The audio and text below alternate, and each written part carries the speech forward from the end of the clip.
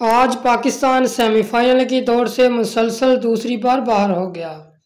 पाकिस्तान को सेमीफाइनल से बाहर देखकर सबक खिलाड़ियों ने अफसोस का इजहार किया। मिसबुल हक ने कहा कि अगर मेरे मशवरे पर अमल कर लेते तो आज ये दिन न देखना पड़ता। पाकिस्तान की पावलोंग जो हर मुश्किल वक्त में टीम का सहारा बनती थी। नसीम शाह के इंजर्ड होने के बाद अब टीम पर बोझ बन गई है। मिसबुल हक ने कहा कि जब टीम की सिलेक्शन हो रही थी तो मैंने कहा भी था कि एशिया कप में हमारे स्पिन बॉलिंग परफॉर्म नहीं कर रहे। इसमें तब्दीली की ज़रूरत है, जबकि फास्ट बॉलर भी अच्छा परफॉर्म नहीं कर रहे। हमें नसीम शाह की अच्छी रिप्लेसमेंट चाहिए जो हमें मैच विनिंग परफॉर्मेंस दे। लेकिन मेरे तमाम तार मशवरों को रद्दी की टोकरी में डाल दिया गया, और आज पाकिस्तान सेमीफाइनल भी नहीं खेल सका। पाकिस्तान को सेमीफाइनल में पहुँचने के लिए जो मतलूबा रन रेट दरकार था वो पाकिस्तान की पहुँच से बहुत दूर था।